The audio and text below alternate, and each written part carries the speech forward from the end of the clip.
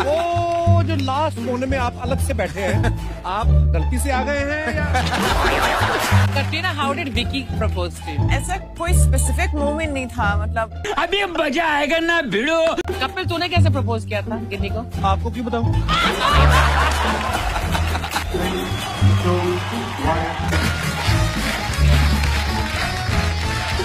अर्चना जी हाँ जी। बहुत प्यारी लग रही हैं आप। भूतों में बिलीव करती हैं आप? नहीं। भूत से बात हुई थी, वो तो आप में बड़ा बिलीव करते हैं।